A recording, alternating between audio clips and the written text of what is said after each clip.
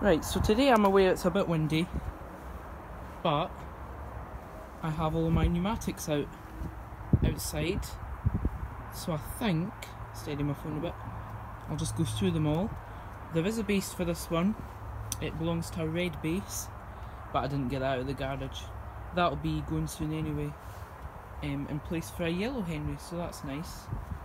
But they're all in age order, so let's just go through them quickly. Sorry, a bit shaky. They were. So we have a 1980s. I don't know the exact year. NV250. 1984 HVC 200. That's getting a motor soon. That's getting a replacement motor soon. 1988 NV250. No, not NV250. NV200. I'm just moving on. That works fine, but I'll, it's getting a clean up. 1991 Green Henry with a wonky eye. That's 1995, it's just a red Henry. Working, and we come along here.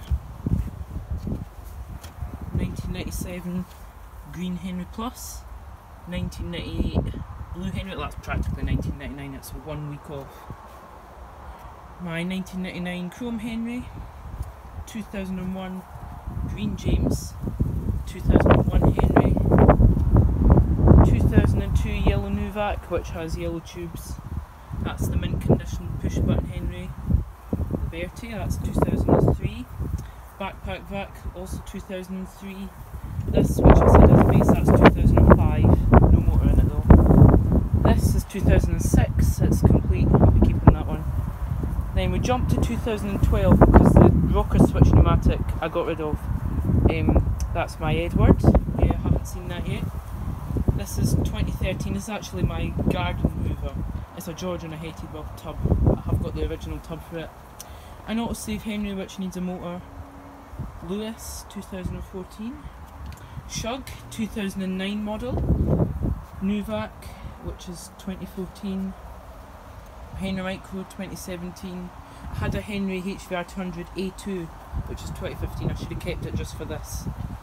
Blue James, which is 2017, Henry 160, which is 2018, and the newest Henry Cordless 2019. What you reckon, Shug? So yeah, I've had a lot more than this over the years. I got rid of quite a few at one point. I sold a couple Henrys, another one of them, the A2 which I just mentioned. So the A2 would have went there and it would have kind of filled the gap. I had a 2007 Rocker Switch Henry like that years ago. Loved it, but I got rid of it for some It's so you probably can't hear me.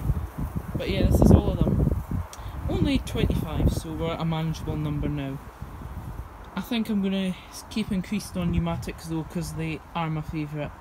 There's just something about them that's really nice.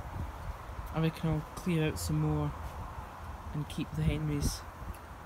So yeah, just wanted to do this today. Now it's good to me just to put them all back. Thank you for watching. Just pan on them all.